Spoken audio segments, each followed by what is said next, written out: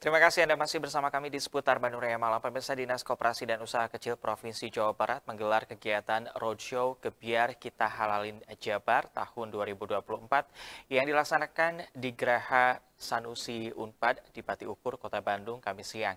Gebiar Roadshow Gebiar Kita Halalin Jabar ini guna memberikan kemudahan kepada pelaku usaha terkait perizinan eh, dan sertifikasi produk untuk keberlangsungan usahanya.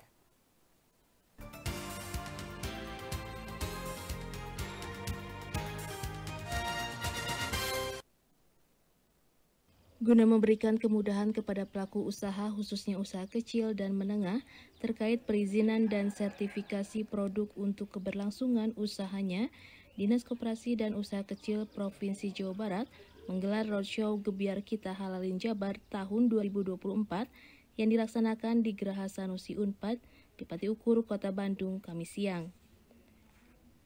Kegiatan roadshow Gebiar Kita Halalin Jabar ini dihadiri langsung oleh penjabat Gubernur Jabar Bay Mahmudin serta seribu pelaku usaha kecil yang berasal dari Kabupaten Bandung, Kota Bandung, Cimahi, dan Kabupaten Bandung Barat.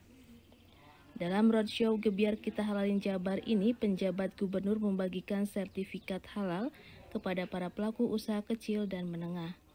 Kegiatan ini pun digelar guna memberikan kemudahan kepada pelaku usaha terkait perizinan dan sertifikasi produk untuk keberlangsungan usahanya. Ini kita memang membantu uh, kegiatan yang dilakukan oleh Kemenkop UKM. Kita Jawa Barat mendapat seribu uh, apa kuotanya. Nah kita lihat bahwa Jawa Barat itu kalau di dalam jumlah UMKM yang khusus di bergerak di kuliner, makanan, minuman itu ada 2 juta 180 ribu. Yang sudah mendapat sertifikat itu baru 600 ribuan 630 jadi masih jauh kan? Nah sehingga kami sangat mendukung sekali kegiatan yang dari Kemenkop ini walaupun sebetulnya Kemenkop hanya sebagian saja eh, apa membantu anggarannya. Yang lebih besar kan dari mulai di lapangan penyiapan segala macam. Dan alhamdulillah walaupun kita tahun ini belum menganggarkan di APBD kami dibantu dari BI dari Telkomsel kemudian juga dari beberapa yang ini termasuk dari Basnas juga nah targetnya memang kita berharap tadinya uh, ingin semuanya di Oktober ini ya.